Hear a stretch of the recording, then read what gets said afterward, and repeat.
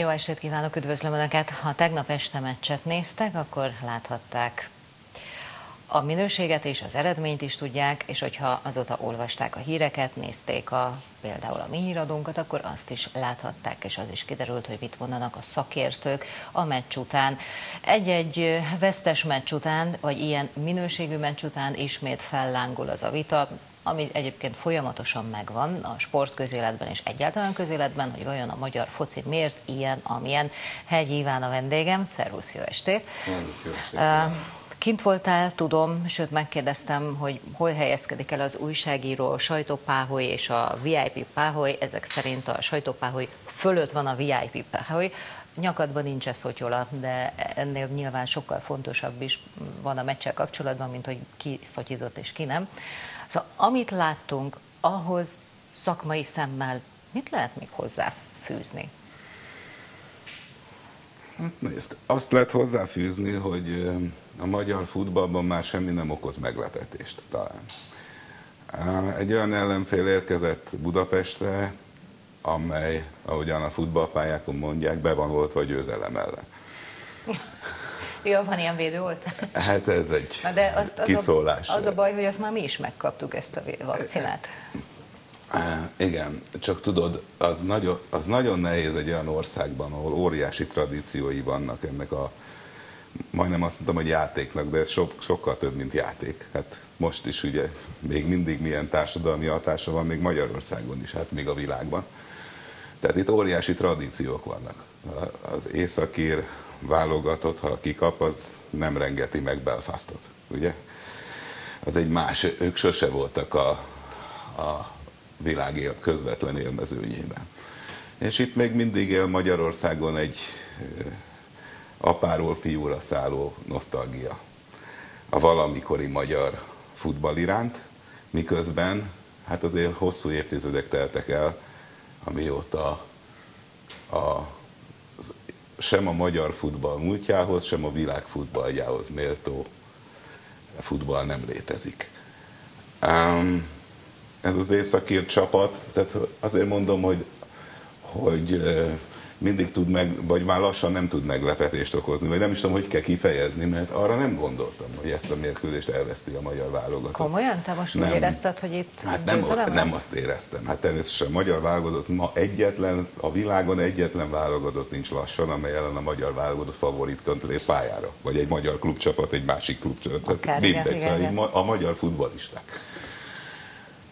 De hát ugye az, azt gondoltam, hogy a legrosszabb esetben is mondjuk döntetlen lesz, mert az ellenfél semmivel se jobb. Semmivel Mint se, mint, így van. És hát elvesztettük, és akkor azért tűnődöm, hogy most tulajdonképpen meg kell, hogy lepődjek, vagy nem kell, hogy meglepődjek.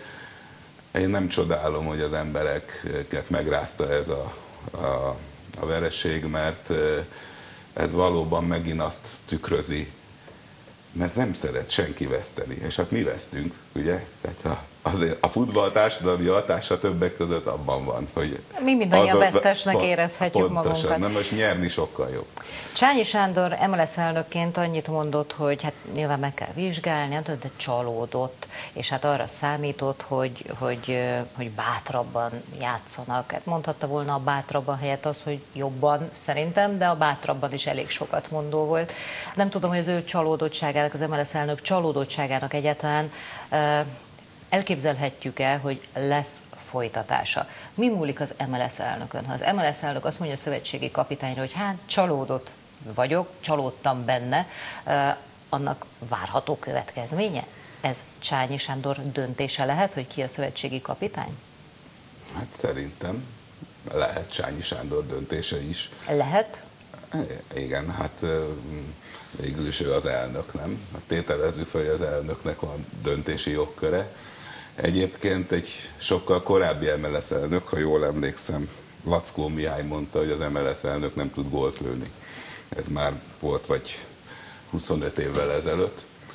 Á, de teljesen mindegy, ez nem kapitány kérdés. Tehát, e, tegyük fel, hogy Csányi Sándor választotta, ugye, te kicsit, hogy is mondjam, dilemmában volt, hogy vajon ő dönti ezt el, ha jól értem. Én, Én abszolút dilemmában vagyok. A, a, várj, akkor segítek.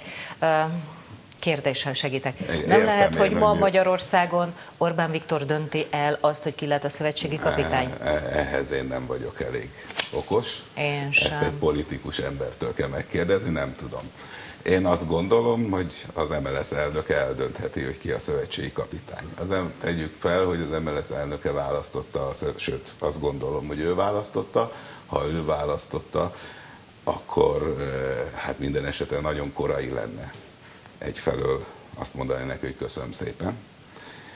Másfelől teljesen mindegy, hogy ki a szövetségi kapitány. Tehát ez a helyzet. Tényleg? Hát hogy ne. Hát akkor meg, akkor meg végül is igazaból annak, aki nem a méregdrága külföldi szövetségi kapitányt hozta ide, hogyha teljesen Pedig mindegy. azt akartam mondani példának, hogy tegyük fel, hogy holnaptól Joachim Löw a magyar válogatott szövetségi kapitánya. Ő a, ugye a világbajnok német válogatott szakvezetője. Hát két meccs után kiderül, két edzés után kiderül, hogy ahhoz az ő tudása kevés. Nem, és nem a játékosok ellen beszélek. Ők már erről nem tehetnek. Egy hosszú folyamat hát részei. Akkor ki? Hát hogyha nem a hát szövetet, ez, szövetség, az azért hát, olyan formában biztos nem igaz, hogy a szövetségi kapitányon nem múlik semmi. Tehát én úgy értelmezem most a te szavaidat, hogy itt a legjobb szövetségi kapitány se tudna már semmit a magyar focistákból kicsiholni? Na, hát ahhoz, hogy nemzetközi sikerek, siker sorozatot De miért? Azt hát meg nem hiszem el, hogy Magyarországon rá. egy darab tehetséges focista sincs. Hát milyen korosztályban? Tehát a helyzet az, hogy... 50 hát, pluszban, hát, hát nem tudom. Hát a, a, azért mondom, hát te mondhatod ezt, de a, a tények nem ezt bizonyítják. Igen. A helyzet az, hogy 1986 óta nem jártunk világbajnokságon. 1972 óta nem jártunk Európa bajnokságon. És amikor jártunk 72-ben, még a négy között voltunk. Te, e, tudod, mikor volt 1972? Azért itt halmozott adatok vannak. Akkor és csak még annyira valamit. nem néztem a meccseket, csak nem tudom, hogy mi változott. Tehát akkor is ugyanúgy magyar emberek születtek itt, és közülük pára választották ezt a sportot. Tehát valami történt mi? Az a rendszer, ami a futballban működött és működik, az a rendszer determinálja, hogy nem lesz futball, nemzetközi színvonalú futballista. Hát ma Magyarországon a, a, a magyar futballisták közül a legújabb kimutatások szerint ketten tartoznak összesen az európai topligákhoz, és abból az egyik nem játszik. E, na most csak úgy mondom, hogy a, a, nehogy azt itt, hogy az európai topligák kizárólag spanyol, brazil, német és nem tudom, olasz játékosokból állnak. 1992 sem ma volt, ugye? Csak hogy mondjak egy egy-kettőt. Kikaptunk kettő egyre Izlandtól, itthon akkor Kiprich József és Kovács Kálmán volt a két csatárunk. Hogy micsoda érzékeltessem a differenciát a 20 évvel ezelőtt, több mint 20 évvel ezelőtt kudarchoz képest. Kiprichet a Feyenoord történetének második legjobb játékosának választották az internetes korszakban. Tehát az nem Kovács Kálmán egy bizonyos Jean-Pierre Papin mögött, aki nem volt akárki, és sokkal nagyobb csapatban játszott, mint ő Franciaországban, mert a Kovács az Ozerben játszott, kétszer volt a francia gólista második helyezetje. E, ugye ez elég plastikus különbség, a Kiprichel és a Kováccsal kikaptunk Izlandtól, és most kikaptunk kettő egyre, és Kiprich és Kovács szintű labdarúgónk, de nem, nem szeretném se Kiprich Józsit, se Kovács Kálmánt megbántani. Már úgy értem, hogy Ilyen egyáltalán... hasonlítással. Na csak azért mondom, hogy a kérdéseket föl lehet tenni, a tények azt bizonyítják, hogy nem, és nem, ebből nem tudunk kikerülni. Soha nem fordult elő az, hogy júliusban már nem volt selejtezőben európai kupacsavat. Most javítottunk, egy, egy, egy marad, hónapot. Egy hónapot javítottunk. Igen. Tehát ezek olyan tények, amelyekkel, amelyekkel a, nem lehet itázni. Kikerültünk. Kikerültünk az európai labdarúgásból, amennyiben a, abban az értelemben, hogy, hogy minden, az egyetlen, ami van, az az illúziókeltés hogy mi egyáltalán esélyesek vagyunk bármire is. Hogy nem kezdünk soha semmit előről, vagy valamibe, hanem csak beszélünk róla, hogy mi majd ki fogunk jutni, de, de mitől? Mitől tudunk kijutni? De az északírek, északír kapitány komolyan mondom, megilletődött volt a meccs utáni sajtótájékoztató. Nem hitte el, hogy győzni tudott valahol. Hát Budapest az álmai városa lesz. És nem ironizálok. Megilletődött volt az ember. És milyen szép helyen játszhatott. Az gyönyörű a stadion, gyönyörű a város, igaz? A mi városunk. Nekem, aztán... Persze. Abszolút. Na de jó de ezen felül. Hát nincs, nem. és mit több, miben reménykedünk. Tehát nincs Én nem tudom. Hát ez az. És eleve az jutott eszembe, hogy nem szeretem az olyan demagóg összehasonlításokat, amikor különböző költségvetési forrásokat, vagy pénzköltést hmm. hasonlítunk össze más típusú pénzköltéssel. Mondok példát is. Tehát amikor azt mondja egy politikus, hogy fú, most aztán nem tudom hány milliót vagy milliárdot ráköltöttünk, vagy ráköltött a kormány erre vagy arra, pedig nyáron nincs menza a gyerekeknek, és éheznek a gyerekek. Mind a két állítás igaz, csak egyszerűen összehasonlíthatatlan, mert nem igaz, hogy ha éheznek a gyerekek, akkor pont ebből a forrásból. Tehát azt is meg kell oldani, csak ezek nem összehasonlítható dolgok. És ebből kiindulva én már, már tényleg unom azt, amikor azt mondjuk, hogy pedig mennyi stadion épült, mennyit költöttünk stadionra.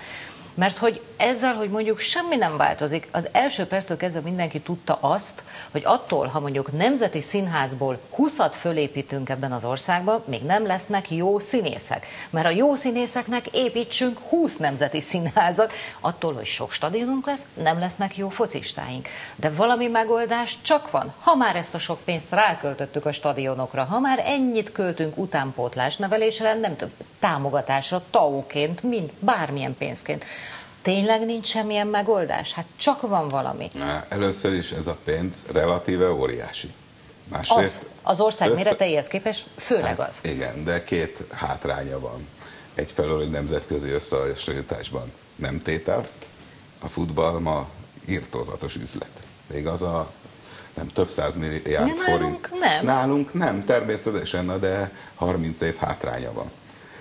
Az mibe? Az, azt, ha összeadod azt a pénzt, ami, ami, amit össze kéne adni.